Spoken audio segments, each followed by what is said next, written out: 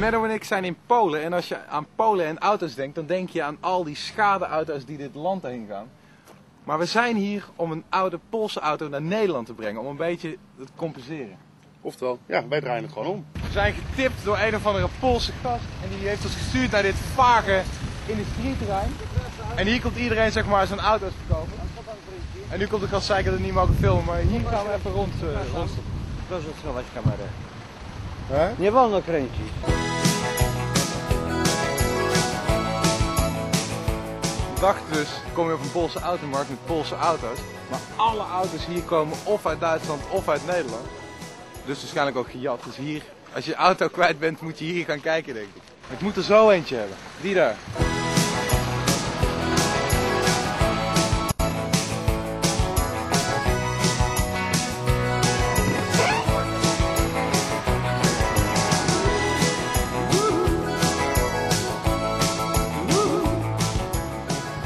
Nergens kan je die dingen kopen. Maar hij weet dus ook niet waar ik nou wel heb.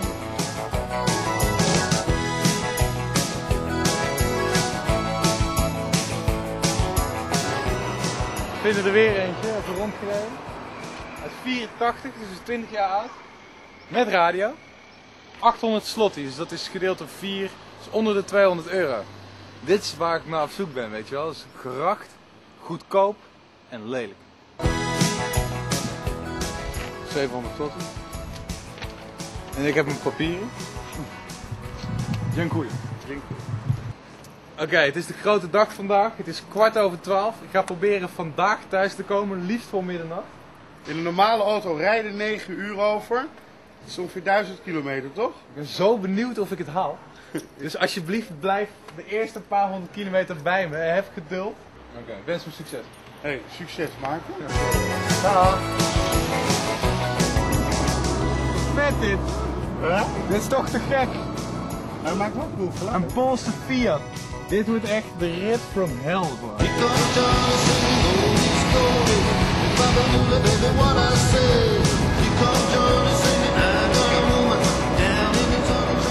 Ik heb een beetje zorgen te maken met hem. Waarom dan? Nee, wat heb ik gehad? 150 kilometer of zo? Nee, wel meer. Nou, Ik denk 200. Maar hij lekte gruwelijk olie. Het spuit er letterlijk uit. Dat Ja, het, het gewoon, spuit aan de achterkant bij jou eruit. Gewoon een schachtkeureis het spuit gewoon achter de motorkap. op mijn vooruit.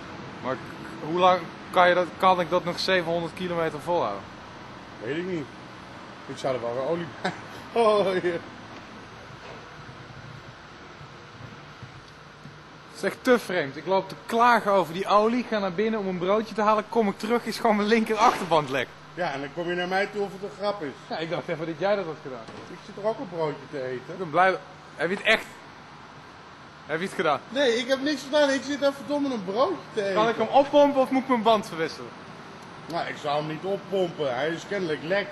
Heb je je band al losgemaakt? Je moet eerst namelijk je band losdraaien. Is het zo? Ja, anders krijg je hem niet meer los. Staat hij op de handrem? Ja, als hij het doet. Oh god. Goed zo. Ja. Oké, die kan eraf. He the the motion. Oh yeah, the boy can play. Dedication, devotion, turning on the nighttime into the. Nou ja, er werd dus verteld dat er 25 liter in ging. Hij is op. Ik heb net dit tankstation gehaald. Ergens in het binnenland van Duitsland. Maar er gaat dus maar 16 liter in. En hij lekt. Dus laten we snel gaan. Maar je hebt toch 208 kilometer gereden op die Ja. tank. Zal ik je dan over 400 kilometer waarschuwen? Nee, over 200 kilometer dus weer. Lijkt me een goed plan.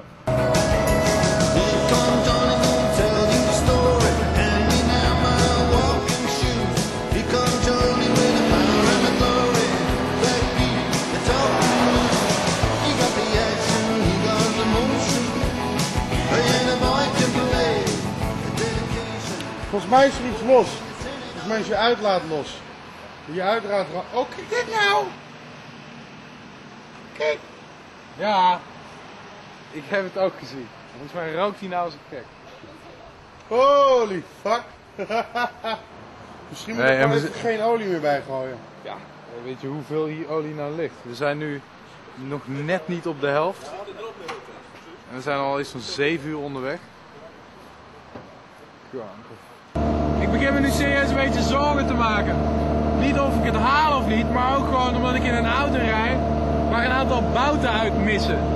En fucking veel olie lekt. Dus ik ben bang dat ik mijn remmen uitvallen. Ja, weet ik veel. Dat er gewoon iets kuts kan gebeuren. Best een kut idee. Kut, kut, kut, kut. Ik hoorde dus een raar geluid tikken.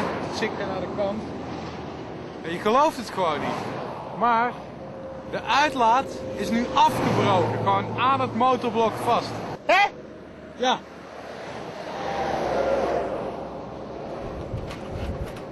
Die ene bout.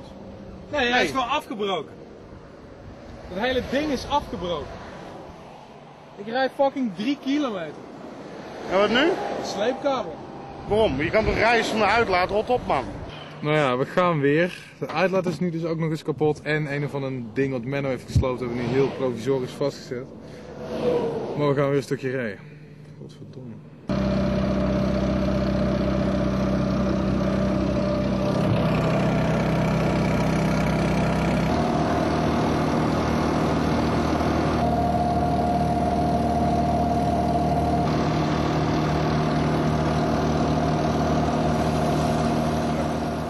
We hebben net de eerste afslag Amsterdam gehad.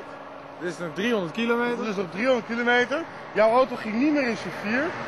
We hebben voor de vierde keer eraan gesloten. Ah, voor de zesde keer volgens mij. Ja, zoiets. Ik zou ze zeggen, op goed geluk. Maarten, Maarten, Geloof je niet? heb je de olie van de versnellingsbak wel gecontroleerd? En wat deed hij? Deed hij het of niet? Nee, hij schiet er elke keer uit. Waar? Uit zijn 1, 2? Alles. Dat is de olie van de versnellingsbak. Kan je niet rijden? Nee. Het is op, het is over, het is kut. Hij schakelt niet meer, hij lekt, hij doet niks meer. Met pijn in mijn hart laat ik hem hier achter. Ik vind het, nou, ik vind het echt te kut. Ik heb gewoon geen gelijk gehad. De uitdaging is gewoon mislukt. Ik dacht echt wel dat ik het zou halen. Ах, малуха. Эх!